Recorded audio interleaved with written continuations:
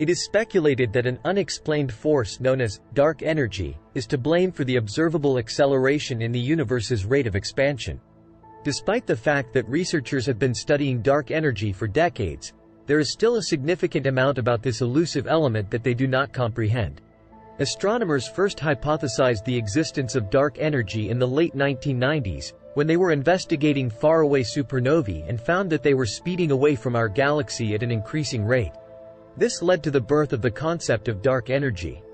This came as a surprise because previous speculation suggested that the gravitational attraction of stuff was causing the expansion of the cosmos to proceed at a more glacial pace.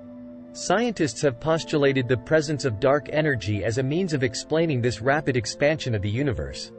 Dark energy is a factor that acts in opposition to gravity and is responsible for causing the expansion of the cosmos to accelerate. Nevertheless, despite decades of investigation and study, there is still a significant amount regarding dark energy that is not understood.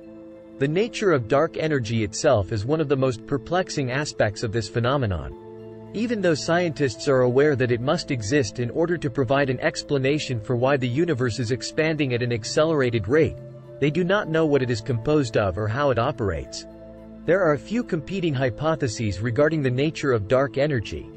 Some believe it to be an intrinsic quality of space, while others postulate the presence of a novel category of particle or field.